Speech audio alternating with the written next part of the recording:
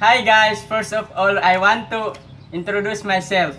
My name is Eddie Boy Akmad and we and we make a blog about Philippine national artists for literature. Number one, Andero Vene- Veneracion. Number two, Francisco Feliciano. Number three, Antonio Molina. Andrea Ofilada. Veneracion founded the Philippines Madrigal singer. The group is one of the most passionate and talented musical groups in the country. It's acquired several international awards, including the UNESCO Ar- Artist for Peace in 2009. Francisco Feliciano was a profile composer of over 30 major works.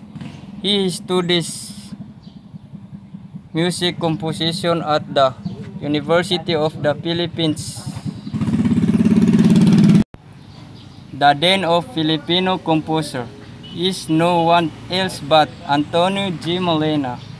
This national artist was a multi-talented musician, writer, and music educator.